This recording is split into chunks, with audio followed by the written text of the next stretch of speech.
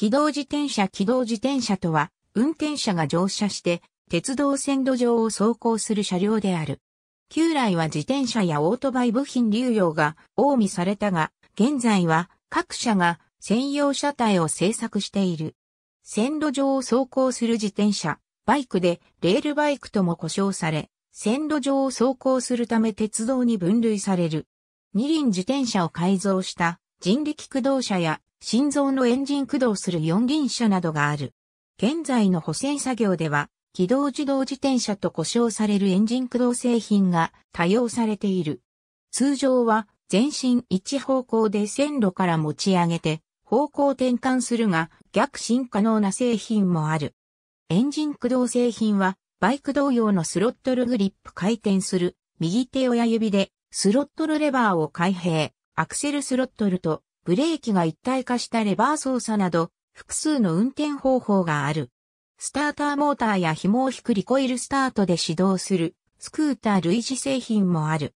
2010年11月開催の鉄道技術展で国内主要メーカーがモーター駆動する電動式商品を発表している。東海旅客鉄道では在来専用として日産リーフのリチウムイオンバッテリーを再利用した回生ブレーキ付きの電動式機動自動自転車を試験導入し、2021年7月より2022年3月までの予定で各種性能確認試験を行う。同社の在来線部門で使用されている207台のガソリンエンジン式機動自動自転車をすべて電動式に置き換えた場合、年間約3.4トンの二酸化炭素が削減できるという。路線に鉄道配線を再使用した全長数キロメートルから十数キロメートル程度で観光時期や週末限定で営業するものが多い。日本では、三行線配線のトロッコ王国ビフカ、高千穂鉄道配線の高千穂アマテラス鉄道や、旧上岡鉄道上岡線配線などでは、春から周期に客自身が運転するレールマウンテンバイクが催される。